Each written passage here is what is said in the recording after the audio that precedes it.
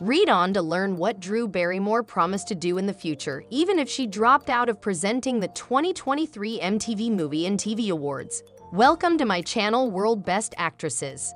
Drew Barrymore opted not to host the MTV Movie and TV Awards. Why? Instagram.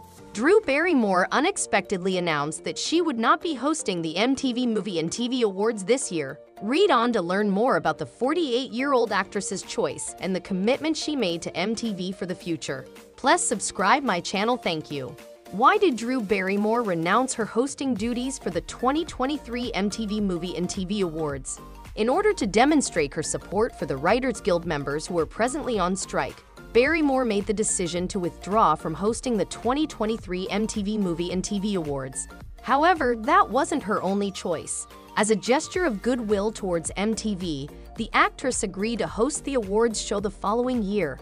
In a release statement, Barrymore said, I have listened to the writers, and in order to truly respect them, I will pivot from hosting the MTV Movie and TV Awards live in solidarity with the strike. Also, Wariadi, what transpired between Hugh Grant and Drew Barrymore? Drama elucidated. The making of films and television is the source of all we value and cherish about them. I'm opting to wait until a solution is found, but I'll be watching from home, and I hope you'll join me. I'd like to thank MTV, who have been some of the best collaborators I've ever had.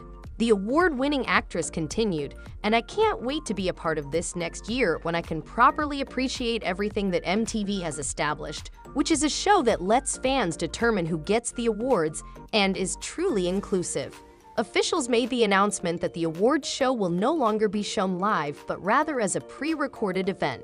Barrymore participated in the ceremony through pre-recorded segments even though she did not host the occasion. The actress was also given the Best Host Award, which she graciously accepted via pre-recorded video. I adore the At Awards family, and we'll all be there again the next year. As it has so many lovely moments to savor, I hope you continue to watch the awards show with me on Sunday. I stand with the at least at Goest, she said as the caption of an Instagram screenshot of her retracting the story. She is not surprisingly, said Bruce Gillmer, producer of the MTV Movie and TV Awards, to Variety, standing in solidarity with the writers, which we have full respect for. She won't be in the house with us live for the broadcast, he continued, so we will essentially be on our own. The bright side of everything is that we truly did develop a partnership with a familial-like vibe, since she promised to continue serving as our host in 2024, we regard this as both a change in course and a halt for the original plan.